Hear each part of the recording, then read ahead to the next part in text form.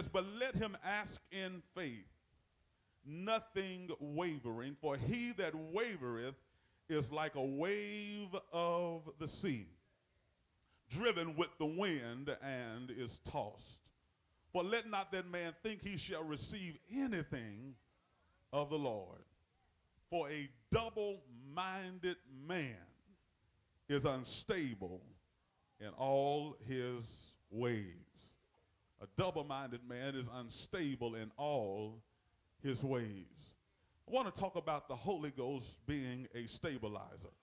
Everybody say that the Holy Ghost is a stabilizer. Clap your hands and praise God for the word of God. As we are, as I mentioned, we've entered into the season of Pentecost. Pentecost uh, within itself means 50 or the 50th day. But we look at Acts chapter 2, and there was something that's significant that happened on the day of Pentecost. And that for the first time, the Holy Spirit or Holy Ghost, you can use those terms interchangeably, was poured out in the upper room upon the 120. And so we have taken the term Pentecost to really focus or speak of the experience that happened in Acts chapter 2. Uh, but what is more important, I think that uh, we cannot stop at the fact that Jesus died on the cross and he was resurrected. But Jesus stayed on earth after he was resurrected from the dead 40 more days to spend more time with his disciples, teaching them and sharing with them uh, things significant uh, that would be important for them before he's taken away back into heaven.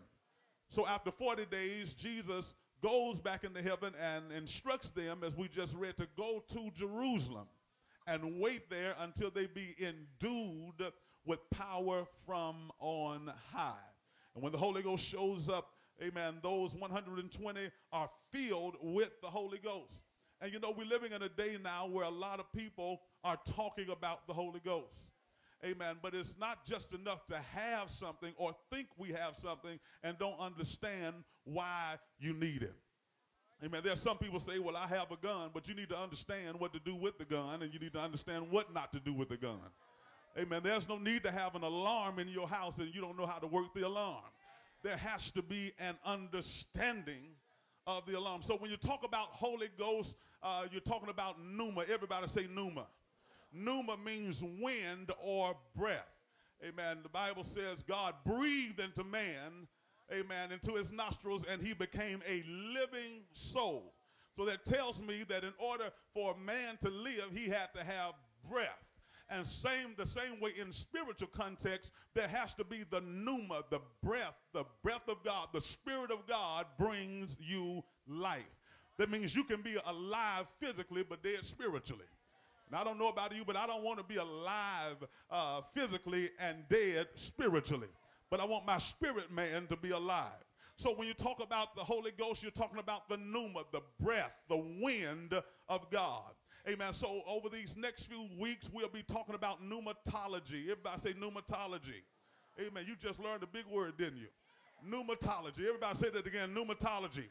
Pneumatology is the study of the person or work of the Holy Ghost. Everybody say that the study of the person and the work of the Holy Ghost. It's important to know that the Holy Ghost is a person. Amen. It's not an it. It's not a thing. He's not a thing. He is a person. You wouldn't feel too good if somebody referred to you as a thing. Amen. You are a person. The Holy Ghost is a person and he has a personality. Amen. When you talk about God the Father, God the Son, God the Holy Ghost, amen, these are not three separate entities, but as we say, they are three in one. Amen. God manifested himself as the Father. Uh, releasing his son Jesus in the earth, but he's still God in the likeness of human flesh. And so when he goes back, he sends back his spirit uh, so that all of us can experience God in our lives. Do you not know that the Holy Ghost, when he lives on the inside of you, that's the closest that uh, he or any other person can get to you when they are inside of you.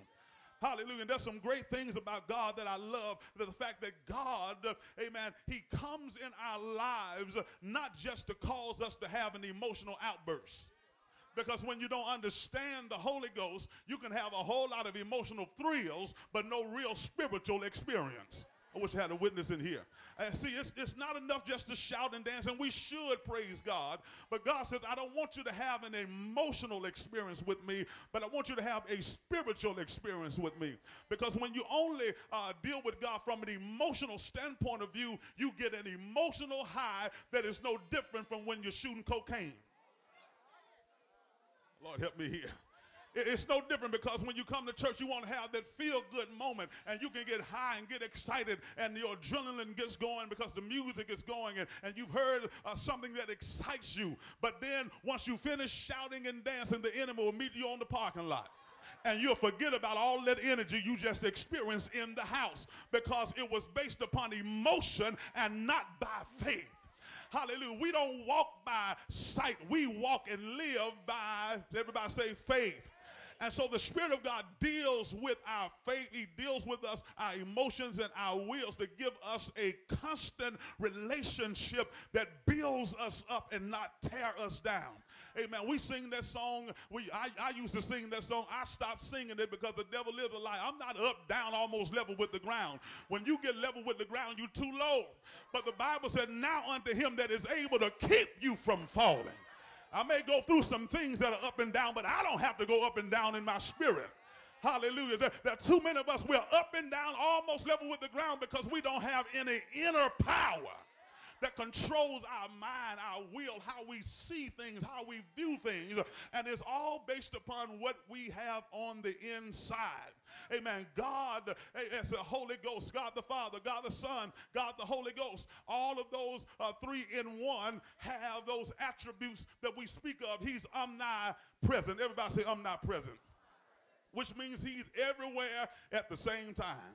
Amen. That's, that means he's ubiquitous. Everybody say that ubiquitous. Omnipresent. Y'all learned some big words today. How about that? Hallelujah. He's everywhere at the same time. Hallelujah. He sees everything. Hallelujah. Not only is he omnipresent, but he's also omniscient. The word omniscient has a base word in its science, which means knowledge or knowing. That means God knows everything. So he's everywhere at the same time, and he knows everything, and then he's omnipotent. Everybody shout omnipotent.